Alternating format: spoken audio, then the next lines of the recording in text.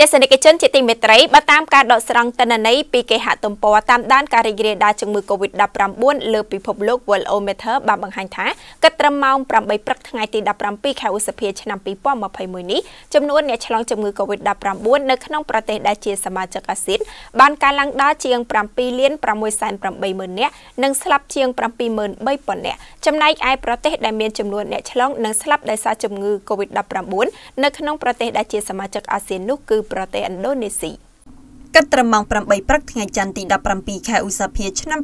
2021ចំនួនអ្នកឆ្លងជំងឺ Covid-19 នៅក្នុងប្រទេសសមាជិកអាស៊ានបានកើនឡើងដល់3លាន688,102នាក់ហើយក្នុងនោះមានអ្នកស្លាប់ចំនួន73,227នាក់ផងដែរនេះបើតាមទិន្នន័យពីគេហទំព័រតាមដានការរីករាលដាលជំងឺ Covid-19 លើពិភពលោក Worldometer ឥណ្ឌូនេស៊ីនៅតែជាប្រទេសមានចំនួនអ្នកឆ្លងនិងស្លាប់ដោយសារជំងឺ Covid-19 ច្រើនជាងគេក្នុងចំណោមសមាជិកអាស៊ានបន្ទាប់មកប្រទេសហ្វីលីពីននិងប្រទេសម៉ាឡេស៊ីខាងក្រោមនេះជារបាយការណ៍នៃការឆ្លងរីករាលដាលជំងឺ Covid-19 នៅក្នុងប្រទេសអាស៊ានគិតត្រឹមព្រឹកថ្ងៃទី17ខែឧសភាឆ្នាំ2021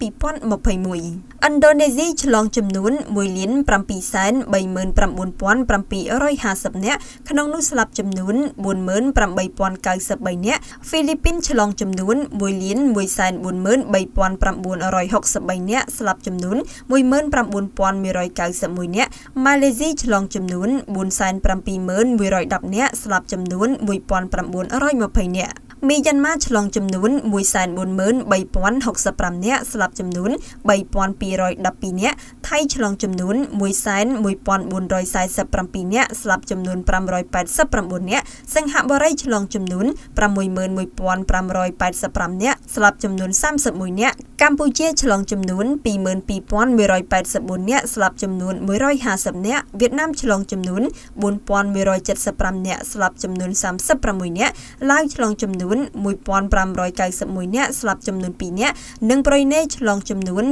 232នាក់ស្លាប់ចំនួន3នាក់